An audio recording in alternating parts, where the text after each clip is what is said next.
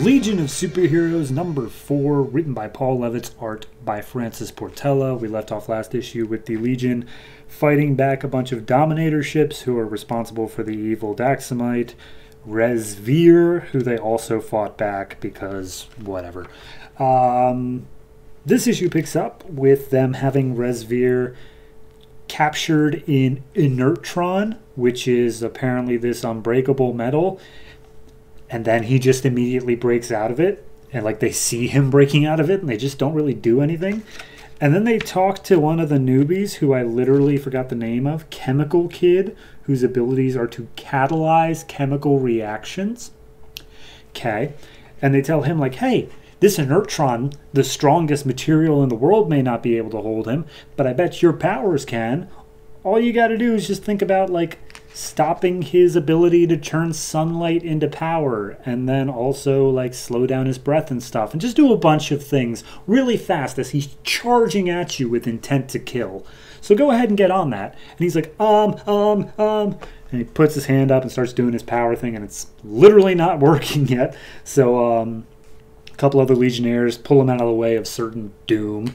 And then as he's up in the air, he manages to land the hit, uh, Resvir falls to the ground, knocked out cold, and Mon-El's just there like, all right, that's a cool trick, but don't you ever try that on me. Ha ha ha ha. So then we cut over to the Dominator ship where Chameleon Lad, I think is his name, is incognito as one of the Dominators, and he's just creeping around, just like, ah, yes, the Legion will follow us, and then our plan will be complete. He's like, all right, well, I got to make sure that uh, we stay here in United Planet space and the Legion doesn't follow. And he passes by this group of like little grunts and he's like, cool. The grunts don't mind when I don't say anything to them, so uh, I don't have to give up my identity. Maybe it would be better if I turned into a fly though, so that nobody notices me. And the moment he turns into a fly, all the alarms go off and he's like, ah, okay, so they can notice a fly. That's that's cool. So then we cut over to Daxam and a couple of the Legionnaires are there, and they're like, okay, but like, nobody here thinks that Daxam is a prison. It's just that one guy. Like, what could possibly be going on? Who's buying into this propaganda?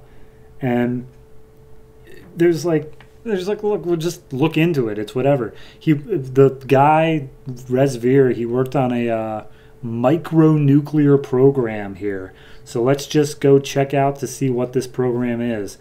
And the one guy, I don't even think we ever got an introduction to him, but he can turn invisible and he speaks in like French, I think. He, he walks through the door and he's like, oh, they're working with kryptonite.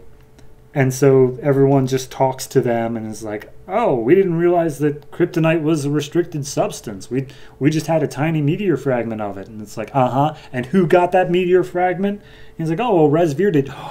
was Resvir behind this whole thing? Yeah, clearly. So anyway, we go back to the Dominator ship. The alarm's still going off, looking for the fly. Um, Chameleon Lad's like, all right, well, they didn't notice me when I was one of them, so I'll just transform back into that, and everything will be cool. So he transforms back into that. He gets one of the um, grunt squads that were walking by, and he's like, "Hey, you guys, uh, act as my guard so that whatever intruders here doesn't get to me. We have to go defend the engines." Wink. And then we just kind of don't deal with that anymore. Uh, we cut to Brainiac Five, who is still analyzing Glorith's shields and how it can like create energy from like nothing and he's like this doesn't make any sense. This is going against every law of physics possible. And I don't even know this girl's name. Nura. Sure. She's got some sort of magic powers and Brainiac's like yeah yeah magic is it's a thing but it still follows the laws of physics but her thing I can't explain unless she she pulls energy through time, and that's how she gets her power.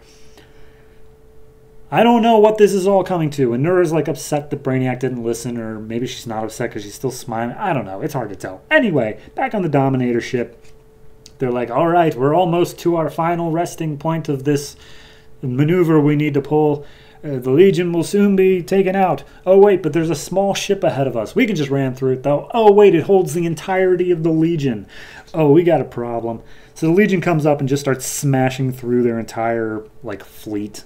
Um, Mon-El opens up the flagship and he's like, hey, we're going to talk. So um, you guys get out of here and don't ever come back. And uh, anything to do with Daxam is totally off limits. Cool, cool, bye. So then, as he's about to fly off, Chameleon kid's like, uh, "Hey, I was here too. Can I come with?" And they all get back on the ship, and uh, Shadow, whatever her name is, probably Shadow Lass or something, is like, "Hey, Mon-El, it's good to have you back. You haven't been at, or and you're acting like yourself too. It's been a long time since then." And Mon-El's like, "You have no idea, Shady. Ha ha. End of issue." Okay. All right. I guess. Sure. What like what even was that opening though? Of like, oh, nobody can get out of Inertron, but we're pretty sure he's gonna do it.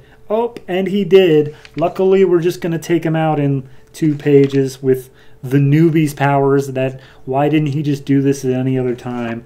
Also, what was the entire point of like chameleon lad, kid, boy, whatever his name is, like nearly getting caught, but then not, and then he just gets to leave home free. Like all of this just feels like halfway through him writing the issue, Paul Levitz was told, by the way, wrap up all your plots now.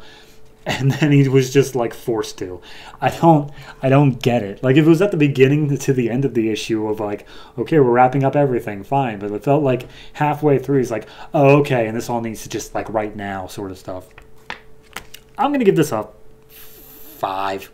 It's it's there's nothing that's like awful about it because at least if except for the Brainiac thing and not even the other stuff. I was gonna say and the scientist bit, but no, that's still part of the Resvir plot. It's just the Brainiac thing that's out of place. Everything else is at least following one straight plot, which was my biggest critique from all this other stuff from before.